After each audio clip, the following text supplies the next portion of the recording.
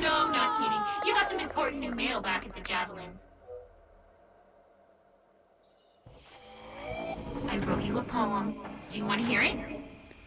Spaceman, spaceman. Oh. Why do you keep dying?